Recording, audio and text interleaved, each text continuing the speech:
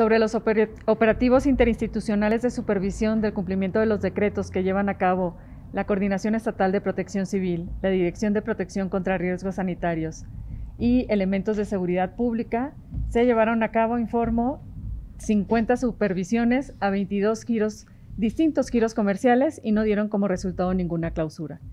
Sobre los operativos que llevan a cabo en el transporte público las Secretarías de Movilidad y Transporte y Seguridad Pública, se llevaron a cabo 345 supervisiones y no arrojaron ninguna infracción. Sobre las personas privadas de la libertad, se mantiene en siete el número de casos positivos de personas que están siendo monitoreadas y atendidas permanentemente en las instalaciones del CIEPA.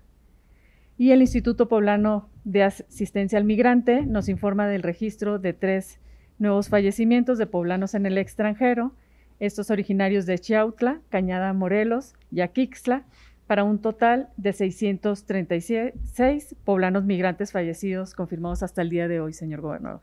No se ha autorizado de, de momento los juegos con público, los juegos sin públicos, eh, los juegos deportivos en general profesionales sin público sí pueden celebrarse.